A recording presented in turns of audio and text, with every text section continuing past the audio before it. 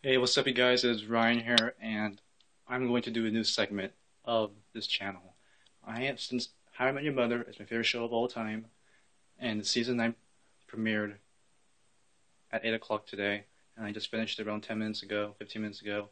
I'm going to do a review of each episode and my thoughts. Um, I'll usually edit it if I have time, but I might just do it like this. But here it goes. I'm going to do a 24 episodes, and yeah, so I'm going to cut to the chase. Wow. I can't believe it. That was the one of the most satisfying things I've seen in such a long time. Movies, TV, anything. And if you guys don't know, I have the shirt. You guys can't see it, and I have the cup. How I Met Your Mother. I actually have three of these, actually four total. And let me tell you, I've been waiting for this episode for so long these two episodes, and it's actually it was actually an hour long. These two episodes, which was I, I thought was an amazing idea for the fans, and I loved all of them, both the episodes. And the thing is that, and this is this is gonna have a lot of spoilers, but this is this is just a really bad constructive review. But okay, season that first episode, it was interesting because the beginning it showed 55 hours before the wedding. And so it's pretty much saying 55 hours before the wedding, and it showed three people, all the characters, and each of them it showed what they're doing. Marshall's subplot is, you know, um, he couldn't make it to the flight. I'm gonna say as quick as possible. He didn't make it to the flight, but turns out he actually, you know, got it. Turned out that Sherri Shepherd, I think that's her name, they are going to drive with that monstrous truck. I, I forgot how to pronounce it and it's only 1.06 miles per gallon. And, you know, I remember, I remember learning about that thing, you know, a long time ago. You know, I was like, I heard he couldn't make it to the flight. I was like, how, how is this going to happen? How is this going to resolve? And it turns out that he's going to make it. He's going to drive, but he has to pay for the gas. And I was like, how is this going to resolve? And it turns out that he now can do it. And about the judge thing, you know, the um, Marshall's mom was about to posted a picture on Facebook, I think, and Marshall, the baby, deleted it, and Lily, well, that Lily scene in the train was amazing. That Lily didn't find it. So the Marshall thing, I'm very pleased about, and it was interesting too. The Ted subplot, when they're in the car, that blew me away almost because you know he was being himself, you know, with the glove, which was pretty funny. One glove or two gloves, and you know, Lily left. And I was interested because I remember seeing pictures of season of the new episode of him, of her with the mother in the train, and I was like, how is she in the train? Turns out that Ted. How long is this now? Sorry, I'm gonna make it.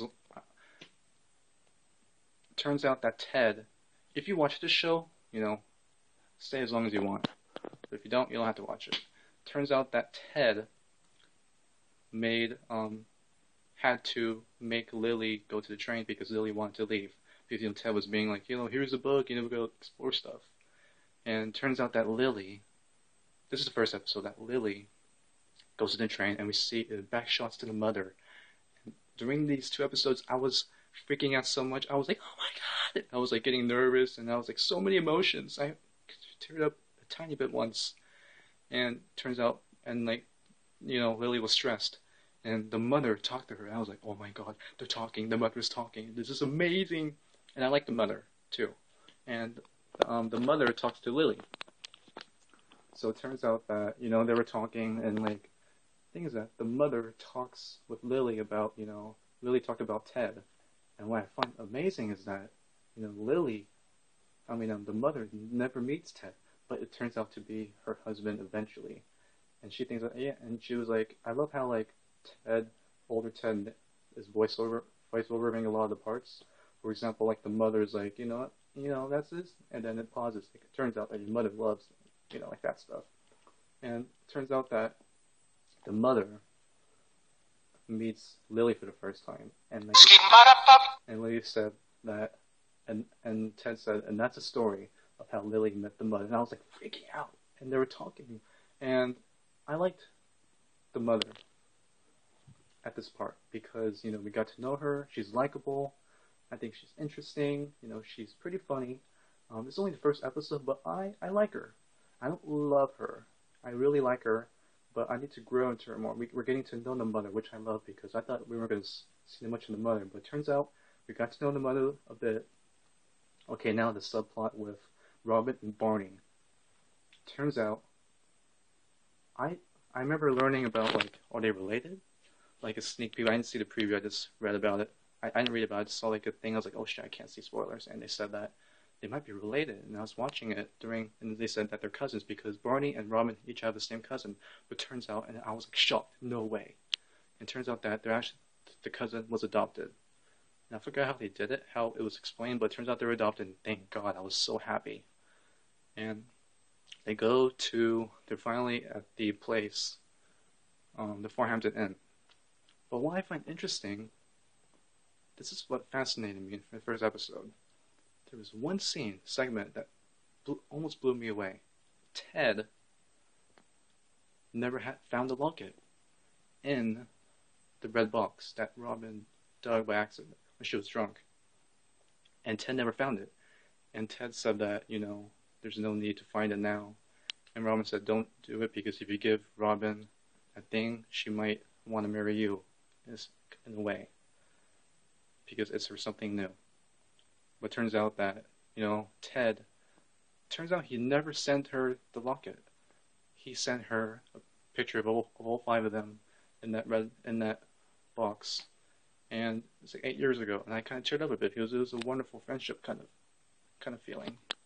So it turns out that, but what I find interesting is that Lily said that don't do anything crazy. This is the ending, I think. And then Ted said that, and Ted, the older Ted, who was the narrator, said, turns out that there was always a wild card. And I thought that he never, I thought he went to Los Angeles in the beginning. Like, is he going to Los Angeles to find the locket? Because turns out that's in Los Angeles, the locket is there. The locket is actually in, how do I say, the locket is oh, so hard not editing. The locket is at Los Angeles because Stella has it in some way. Because the box, maybe like Robin put it at Stella's wedding or something. Maybe she lost it or something. But turns out that it's in Los Angeles. And I thought Ted was actually going to go to Los Angeles. I was like, no way. But in the ending, this is what this is going to be a big, you know, cliffhanger. I'm really interested in knowing this. It shows four days earlier, and Ted goes to the airport before you know the wedding, before um he's at Farhampton Inn. He says, "Hi, one ticket to Los Angeles." Stella lives in Los Angeles, so I'm wondering if the mother is obviously going to be Kristen Malotti or whatever her name is, the one we saw in Lily with the train with Lily. But he goes to Los Angeles. Is he going to find a locket? Did he find a locket already? Did he talk to Stella? I'm wondering what's, what's going to go on. I, I'm guessing that he found a locket in some way. And I remember in the beginning of season 8, they said that I don't want to talk about something bad happened. I'm assuming, this is my prediction, Ted, something bad happened with Ted. And something something's going on. I'm really wondering. Maybe he gave Robin the locket or something. I don't know. Um, but that was uh, episode one. And this is already nine minutes. Oh my gosh! If you're still watching this, I love you. And thing is that episode one, we got to know the mother. I under I now know what happened with Marshall. Actually, that's, that's actually episode two. I'll tell you later. And we kind of get a tease of what's happening with Marshall. We get to see the mother for a bit, which which was nice. Lily doesn't know about the judge thing yet, which I'm hoping we'll we'll see. We're, going to find out eventually, maybe soon. I who knows? But Barney and Robin are cousins, thank God. And you know, Ted went to Los Angeles four days earlier, and it's structured really well too. And we got to know the mother, which is a great thing. So I'm gonna give this episode. I really like this episode. I'm gonna give it a strong eight and a half out of ten. I might like it more when I watch it again. I'm gonna watch it like five times next week. Okay, so episode two. It was starting to be a little okayish, pretty good, and oh, so much to process. So we learned that I think this is episode two or one. I don't remember, but correct me if I'm wrong. We find out that James gets a divorce. Barney Stinson's brother. He did a divorce because, like, you know, he didn't feel like he was like, you know, cheating on his husband all the time, and um, Barney thinks that, you know, and James, James's um marriage is the reason why Barney believes in marriage. But Barney eventually finds out that he got a divorce, but Barney didn't care, and he said to Robin, you know, you know, I don't care about that. And that was such a wonderful scene. I was like, oh my god. I was fangasming. I was like freaking out a lot. And and here's the TV that I watched. Really cool. So pretty much, James gets a divorce, and the one I remember from episode two, oh yeah, the Monstrosious truck, the truck, um, Marshall and the woman, the black woman, going to Farhampton, New York, New York area. So Marshall's gonna be okay. He's gonna make it to winning, thank God. And what happens with Ted? I need to talk about this the most. This is this. I thought the episode was pretty good, good. And I love the quote. You know, when people trust people, you know, people come, people help you. I forgot the quote. The thing is that this is what the game changer of the episode. Ted is at the bar alone. Oh, he he was with James first. Um, Barney's brother, who's like you know now divorced.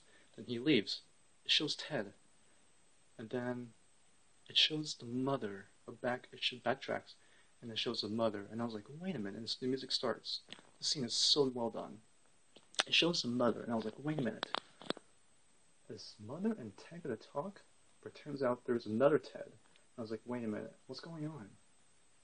Turns out that the other Ted and the mother are the people or from a year after.